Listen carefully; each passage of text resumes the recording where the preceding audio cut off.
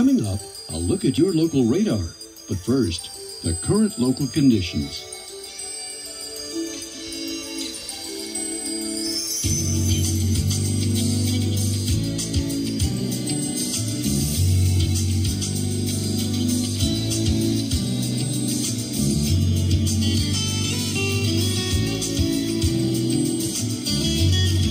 Regional conditions.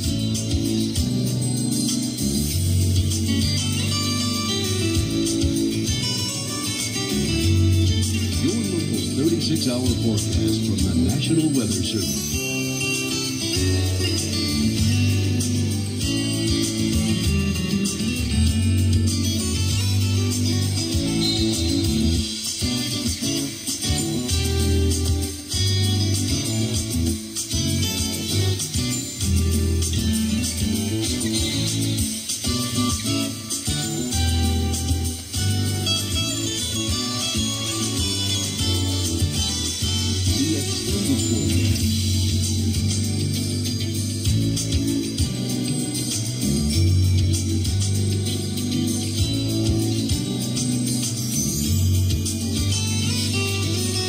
Special regional information.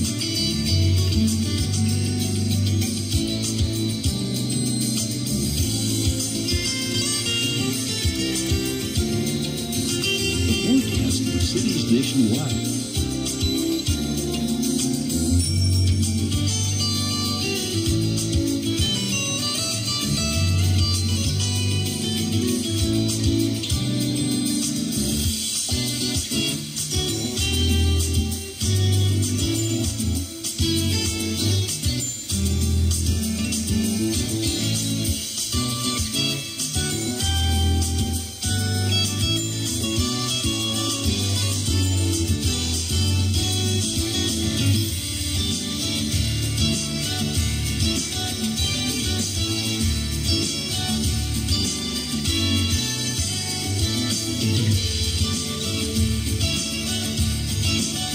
Your